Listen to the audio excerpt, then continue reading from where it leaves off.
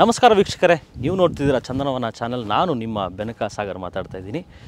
ಇವತ್ತು ನಾವು ಸೋಯಾಬೀನ್ ಹಾಗೂ ದ್ವಿದಳ ಧಾನ್ಯ, ಅಂದರೆ ತೊಗರಿಬೇಳೆ ಹಳಸಂದಿ ಬಟಾಣಿ ಹೆಸರು ಬೇಳೆ ಈ ಬೆಳೆಗಳನ್ನು ಬೆಳೆಯುವಂಥ ರೈತರಿಗೆ ಒಂದು ಉಪಯುಕ್ತವಾದ ಮಾಹಿತಿಯನ್ನು ತೊಗೊಂಬಂದಿದ್ದೀವಿ. ಅದು ಏನು ಗೊತ್ತಾ?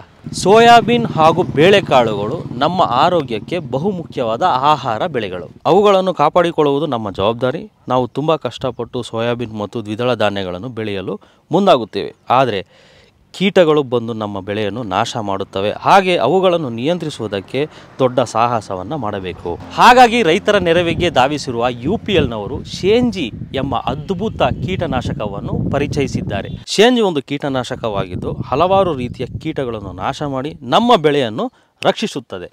ಹಾಗಾದರೆ ಸೋಯಾಬೀನ್ ಹಾಗೂ ದ್ವಿದಳ ಧಾನ್ಯಗಳ ಮೇಲೆ ದಾಳಿ ಮಾಡುವ ಕೀಟಗಳ ಮೇಲೆ ಯು ಪಿ ಎಲ್ನವರ ಶೇಂಜಿ ಹೇಗೆ ಕೆಲಸ ಮಾಡುತ್ತದೆ? ತಿಳಿಯೋಣ ಬನ್ನಿ. ಯು ಪಿ ಎಲ್ನವರ ಶೇಂಜಿ ಕೀಟನಾಶಕವನ್ನು ನಾವು ಎರಡು ಬಾರಿ ಬೆಳೆಗೆ ಸಿಂಪಡಿಸಬೇಕು.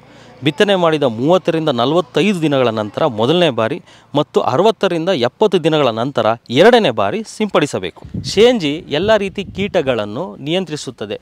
ಸೋಯಾಬೀನ್ ಹಾಗೂ ದ್ವಿದಳ ಧಾನ್ಯಗಳನ್ನು ಆರೋಗ್ಯವಾಗಿ ಇರಿಸುತ್ತದೆ ಹಾಗೂ ಬೆಳೆಯನ್ನು ನಾಶ ಮಾಡದಂತೆ ಕಾಪಾಡಿಕೊಳ್ಳುತ್ತದೆ. ಯು ಪಿ ಎಲ್ನವರ ಶೇಂಜೆಯನ್ನು ಎಕರೆಗೆ ಅರವತ್ತು ಎಂ ಎಲ್ ಅಂತೆ ಬಳಸಬೇಕು. ಮತ್ತು ನಾವು ಪೋಲಿಯಾರ್ ಸ್ಪ್ರೇ ವಿಧಾನದಿಂದ ಶೇಂಜಿಯನ್ನು ಬಳಸಬೇಕು. ಕಾಪರ್ ಆಧಾರಿತ ಶಿಲೀಂಧ್ರ ನಾಶಕಗಳೊಂದು ಹೊರತುಪಡಿಸಿ ಬೇರೆಲ್ಲ ಶಿಲೀಂಧ್ರ ನಾಶಕಗಳೊಂದಿಗೆ ಇದನ್ನು ಸಿಂಪಡಿಸಬಹುದು. ಯು ಪಿ ಎಲ್ನವರ ಶೇಂಜಿ ಕೀಟಗಳಿಂದ ಬೆಳೆಯನ್ನು ರಕ್ಷಿಸುತ್ತದೆ. ಹಾಗೆ ರೈತರ ಆರೋಗ್ಯ ಮತ್ತು ಪರಿಸರ ಎರಡಕ್ಕೂ ಸುರಕ್ಷಿತವಾಗಿರುತ್ತದೆ. ತ್ವರಿತ ಮತ್ತು ದೀರ್ಘಾವಧಿಯ ಬೆಳೆ ರಕ್ಷಣೆಗೆ ಇದು ಪ್ರಸಿದ್ಧ ಸೂತ್ರವಾಗಿದೆ. ಮತ್ತೆ ಮುಂದಿನ ವಿಡಿಯೋದಲ್ಲಿ ಸಿಗೋಣ, ರೈತ ಬಾಂಧವರೇ.